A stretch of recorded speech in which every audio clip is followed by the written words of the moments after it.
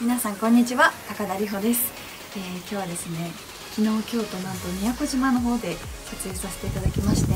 本当はもう雨予報で雨が降ってた時もあるんですけど見事に外での撮影はこういう風に晴れのいい天気で、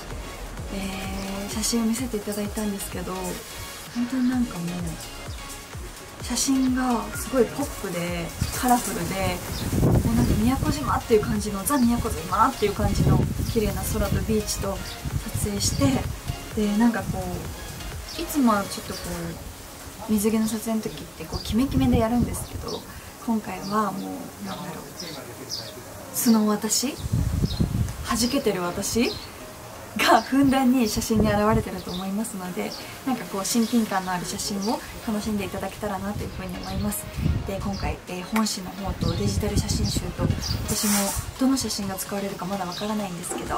えー、きっと素敵なものになっていると思いますのでどうか見てください。い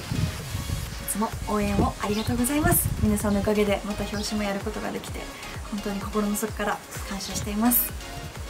これからもよろしくお願いします。